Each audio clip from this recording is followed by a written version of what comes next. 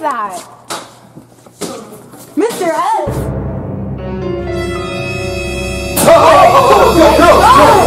What are you doing? What are you doing in here? What? Uh, we're rehearsing ruckus and we wanted to come in. Oh, uh, hey, let me show you my shiny new trophies. We got trophies. Let's get out of here. I've seen the trophies and where we've now put him on our Hillcrest, basically on our Hillcrest uh, stage over here. That's great. This is a distraction. No, there's no. Will you? Oh there's no, you can't be in here without teacher. Well, Okay, now, uh, all right. Is that fine? Fine.